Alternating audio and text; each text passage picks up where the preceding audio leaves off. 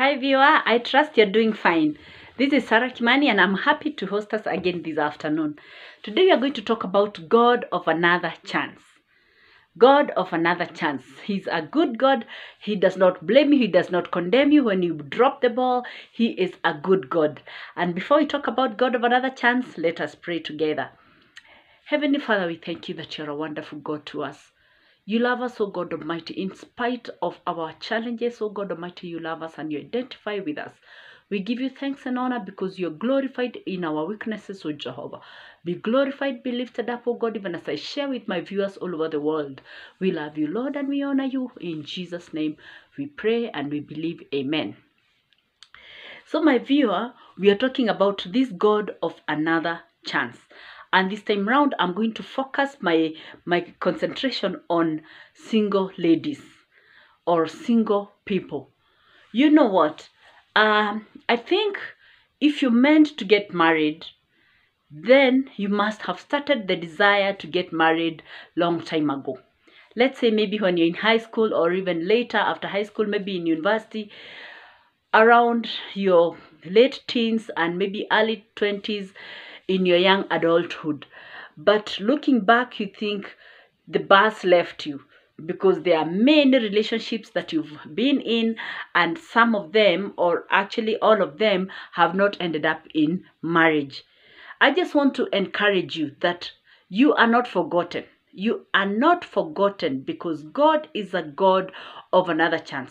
Even if you wanted another person who never really wanted to marry you or um, you, you you wanted somebody and they never wanted you or they they wanted you and you never wanted them and you parted ways and everyone went their way and uh, somehow they the other party got married.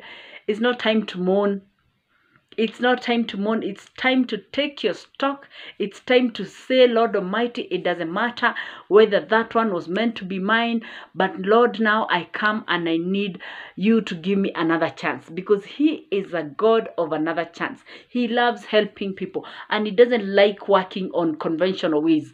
Actually, He's a God who is known in the Bible of working with people who have dropped the ball all the time and people who have made big mistakes he is a god who identifies with you right there. So whether you feel like you you you dropped that ball in business in marriage in career in your health whatever it is that you might you think you contributed to to to be where you are, it does not matter. I'm just coming to encourage you and tell you that you know what, you can pick your blessings again, and there is another person, there is another blessing down the road if you continue to trust in the Lord. The Lord is faithful and He's not short of blessings. He can't say that, oh, your blessing was meant to, to come 10 years ago and now it's over, so I don't have no more blessing for you. No, He is a God who can meet all our requirements or all our prayer items of the whole world and not be limited even at one minute.